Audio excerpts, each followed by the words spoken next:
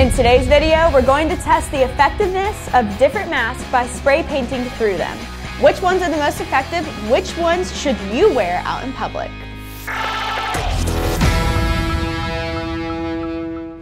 Hey Kennan, how's it going in Chicago? It is cold. We just got our first day of snow. How are things going for you out there in Utah? Woo! I was tracking it. We've had snow here, but I was tracking the snow that you guys were receiving. I've been watching it. You guys definitely got something. I mean, you would know way better than me. Apparently, I woke up this morning. Was like, what? It snowed out. I love it. Oh, I Um, will say though, all this cold weather makes me happy that I'm wearing a mask because it's like a built-in scarf these days. That is the truth. When I go snowboarding here in Utah, I love having my mask on because it is that built-in like extra warm. So I'm not minding it these days either. Here's the basic idea. Masks are supposed to block particles from passing through the air, but not all masks are created equal.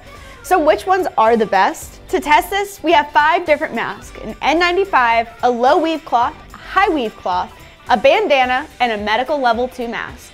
We're going to take each one, spray paint through it, so you can know how effective each one is and which ones you should wear.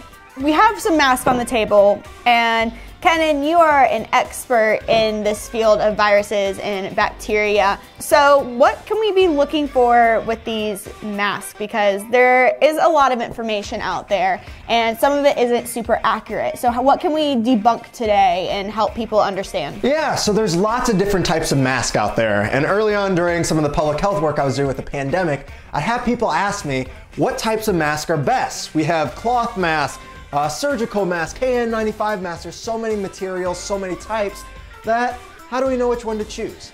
So I was thinking today we could do a simple little experiment by looking at each of these different types of masks and seeing how well they do of actually blocking respiratory quote unquote particles. But instead of using respiratory particles, we could use some spray paint. The primary use of a mask is for you to protect others from getting infected from you in case you are infected, or even if you are infected and you don't know so. So masks can range in effectiveness of blocking particles from as high as 94 to 95% of the particles that you would uh, emit being blocked to as low as about 36, or I guess you could be even zero without a mask.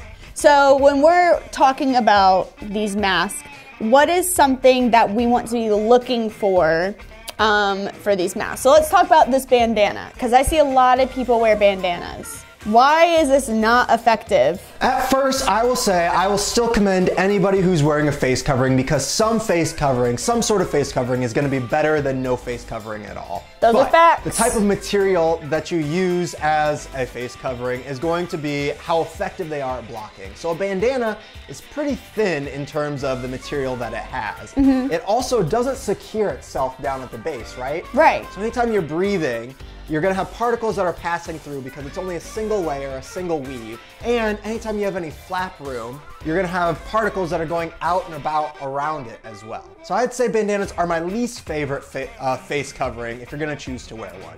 So, I'm gonna go ahead and start getting this experiment set up outside because we don't really want to spray paint inside and make sure these masks are doing their job and not letting particles pass through. To do that, as Kennan mentioned, we're using spray paint, but to make it fun, we're of course using glow in the dark spray paint. So while Grace is getting that set up, one reason that we chose to use spray paint is that spray paint works very similarly to the way that your respiratory droplets would work. So if you think of the little pieces of dye that are gonna give the spray paint color, those are synonymous to the little pieces of virus that would be spread. But that dye doesn't just spray out on its own, instead it's trapped in a liquid, which is exactly what we're trying to block in terms of using masks to trap the viruses that are trapped in our respiratory droplets. So I'm looking forward to see how well this actually works in practice.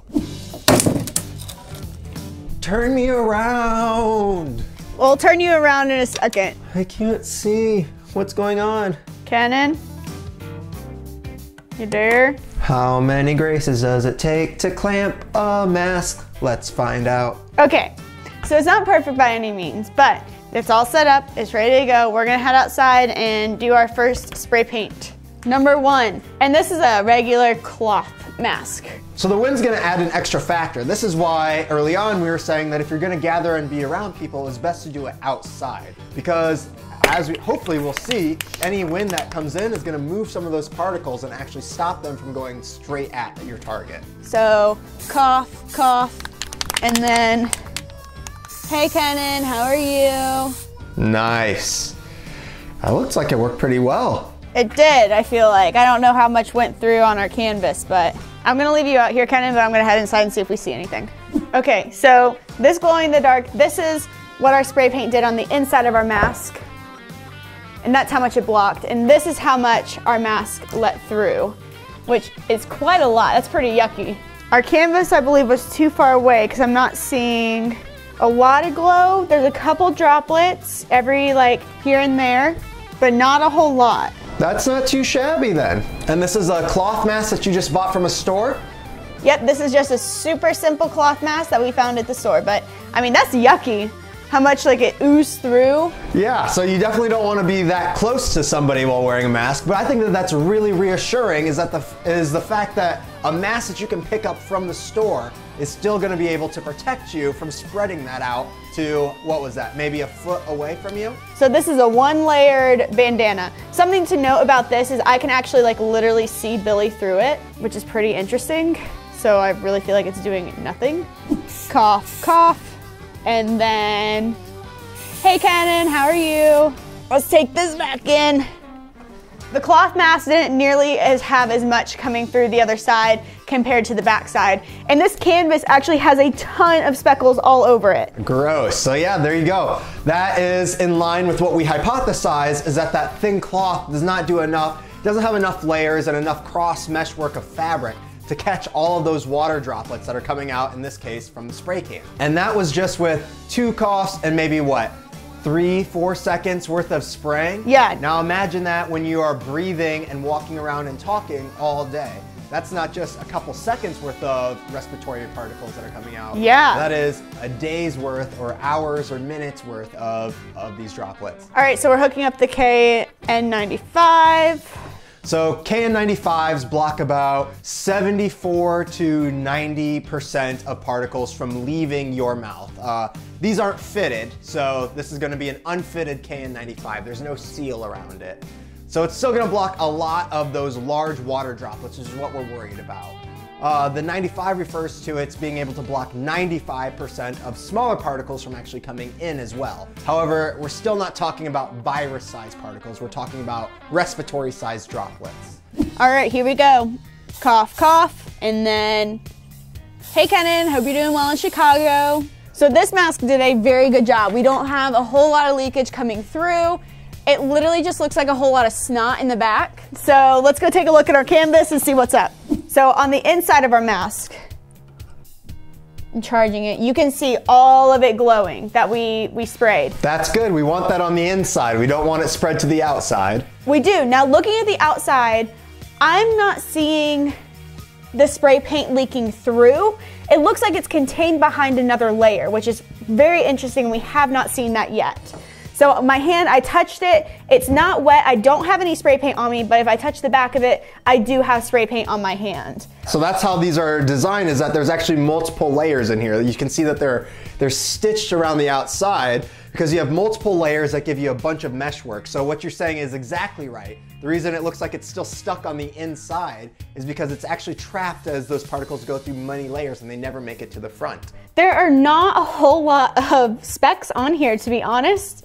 I mean, this is very, very minimum on our canvas. Yeah, but you are still seeing some. We're seeing a couple, so we're seeing some like in the middle a little bit, but the least amount. All right, well, that's good also. So this is also a perfect example of the fact that masks aren't perfect. So this is why nobody said just put a mask on and go back to work normally. This is why we also need things like social distancing and hand washing in conjunction. The more layers of protection that you have, whether that's layers in a mask or layers of protective mitigating steps, the better protected we all are. Okay, so medical mask or one more cloth mask? Let's go down to medical mask. Okay. I recently read a study that actually showed that surgical masks uh, had a higher protective rating than the unfitted KN95 mask did, which I found very interesting. This was a one-off study, so this isn't all around, but the surgical mask they found protected about 94% of the respiratory particles from getting through, compared to 74 from the KN95.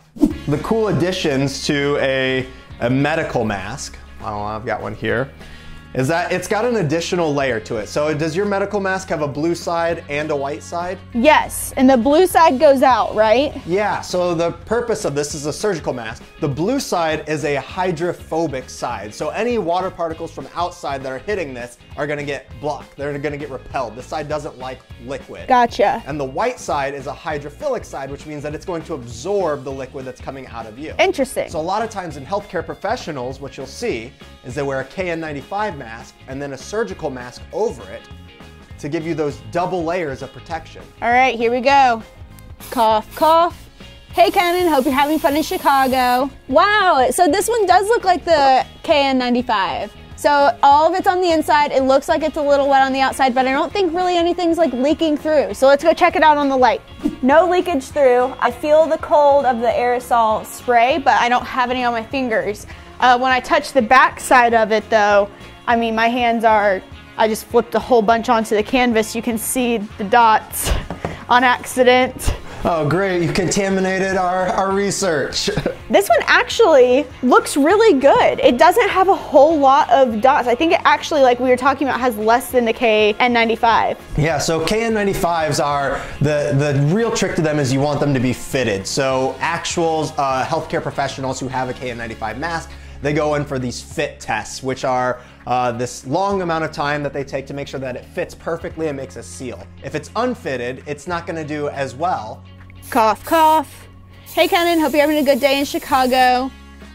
This one actually did a little bit better than the other cloth mask. Um, I don't think it had nearly as much leakage come through. Yeah, barely any spot of leakage come through. So this, I don't know what type of material this is, but it's not like 100% cotton is what that felt like.